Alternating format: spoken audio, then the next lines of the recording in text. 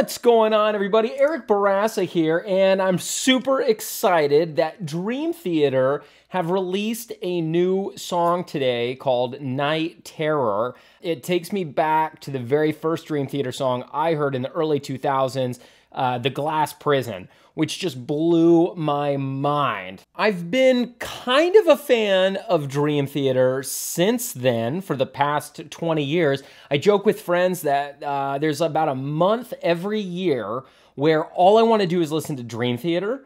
And then I don't want to hear Dream Theater again for another 11 months.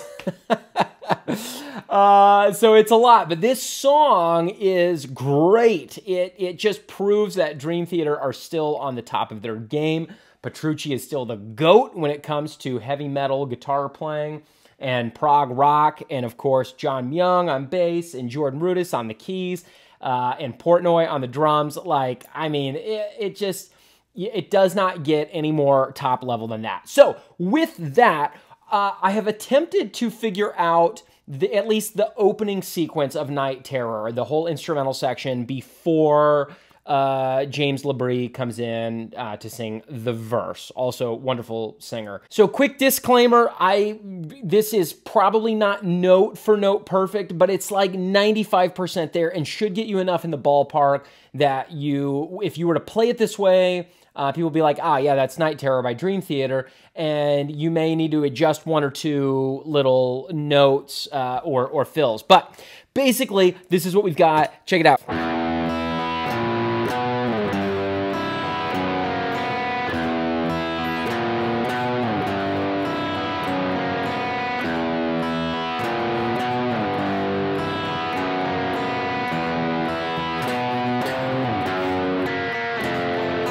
Oh, I kind of messed up that last part.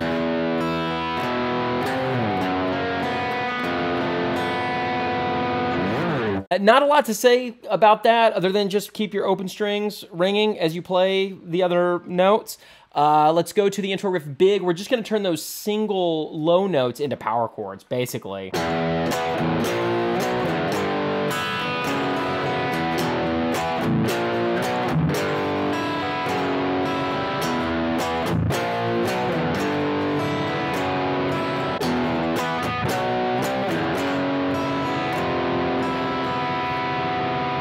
Now we get into the crazy, the fast riffage. I cannot play this up to speed, but here it is for uh, teaching purposes for you to be able to learn.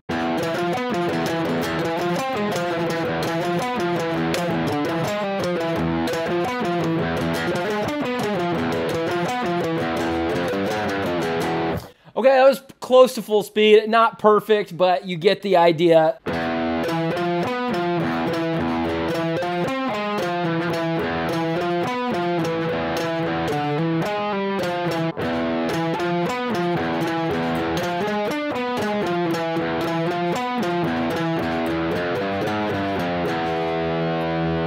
Some of the 12s and the opens you can probably interchange, but the, the, the important thing is that you keep the momentum going with, with that. So whether you do a 12 or an open, sometimes it's kind of tough for me. Uh, it was tough for me to hear exactly which was, was which, but that's the general idea. Okay, cool. So we're, we're gonna play through that riff three times, uh, and then we get to the cool riffage. This is really fun.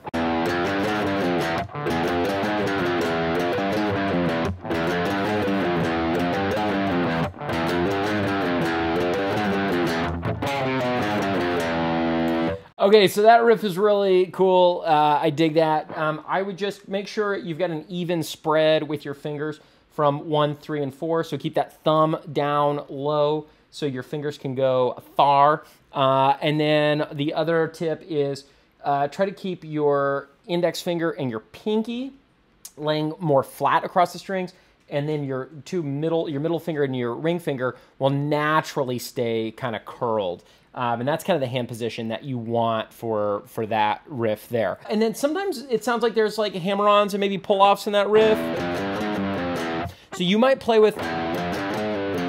Sometimes it sounds like there's like a pull-off from four to three. You, have got some some flexibility with that. Uh, let me know if you have any questions in the comments below. critiques, feedback, constructive criticisms, whatever.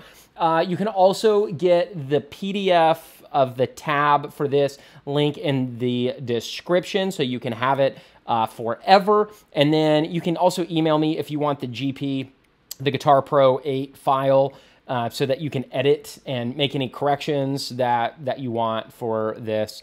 Uh, and then also 50% off my unlimited guitar uh, lessons program until the end of October. Um, November 1st, that price is going up. It'll say 50% off, but you're basically getting it for a third of the price of what it's going to be come November. Uh, 30 days uh, money back guarantee, so you can try it, see if you like it. Let me know if you got any questions about the program. Link for that is in the description as well. Um, like and subscribe. Let me know what you think of this song. I, I think it's awesome, and I hope you guys have a great day. Bye.